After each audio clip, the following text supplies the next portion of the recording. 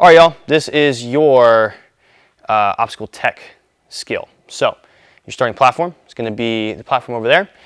Uh, you're going to, for the kids, mature kids and preteens, you're going to traverse your way down. You have all these bars and the rings to traverse your way across. The kids, mature kids, and preteen buzzer is gonna be this buzzer.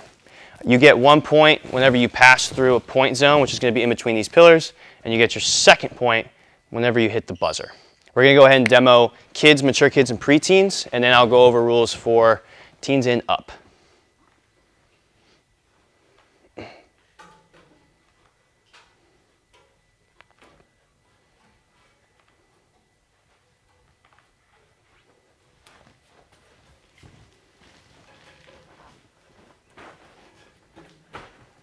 That's one point.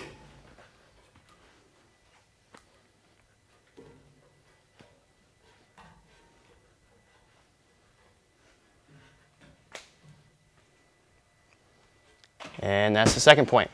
You have 45 seconds to try to complete the skill. If you complete it in less than 45 seconds, then you are allowed to try it again to try to get a faster time. Uh, we'll take the fastest time for that. All right. Um, so for teen and up, your skill is going to still start over here.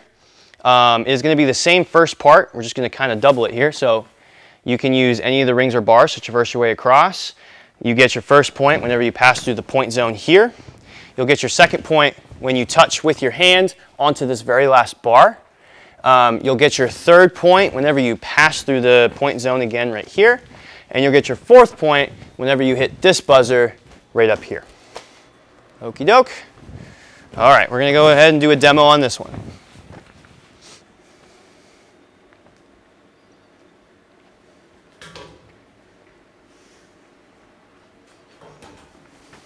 It's the first point.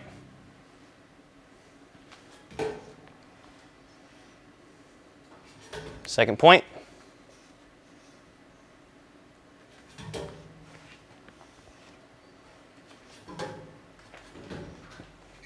That's the third point.